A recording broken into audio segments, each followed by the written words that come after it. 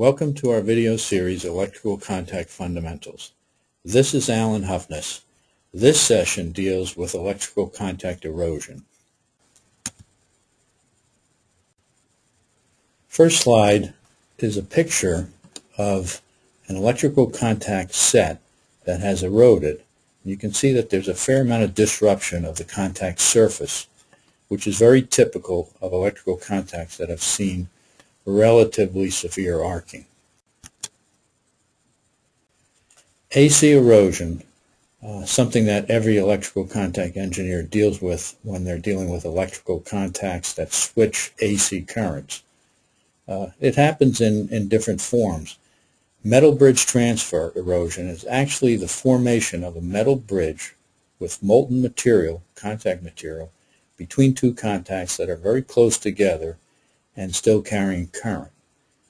Generally, it's at very high temperatures. It has to be at least at the melting point of the contact material or higher. And uh, it can cause a relatively significant transfer of material from one contact to another, depending on which is the hotter contact or the cooler. Generally, the transfer is from the hotter contact to the cooler contact.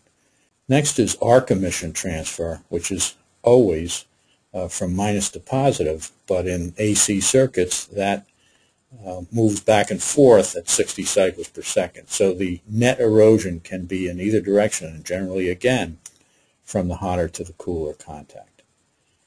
Moderately slow break speed is recommended for AC contacts. This allows the actual arc to be extinguished at a current zero. Arc energy is proportional to arc length, regardless of the amount of current that passes through the arc.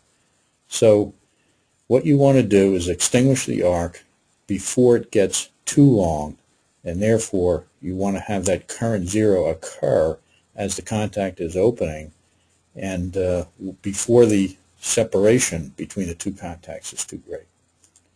So you should not open too rapidly to allow that current zero to extinguish the arc. DC erosion, as opposed to AC, you always know uh, the polarity. So the metal bridge transfer generally moves from plus to minus if, in fact, the temperature difference between the two contacts is fairly close, fairly small. Silver copper, silver copper nickel, these are types of materials that are used. They provide a hard material, a hard contact surface, which resists the transfer from one contact to another. Electron emission transfer, minus to plus, is also a factor in DC erosion.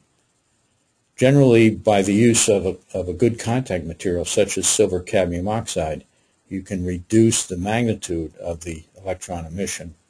And this, this is done by the cad oxide actually dissociating on the surface and keeping the contact surface cool. Hardness at high temperatures is important for all DC applications and generally the material that is silver, copper, nickel, or something similar uh, provides that. Even at high temperatures, it remains quite hard. So basically, you should open rapidly to minimize arc duration and close rapidly with minimum bounce.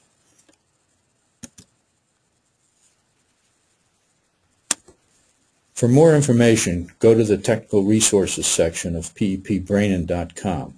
That's where you'll find more tips from our experts, including a guide to troubleshooting common electrical contact problems.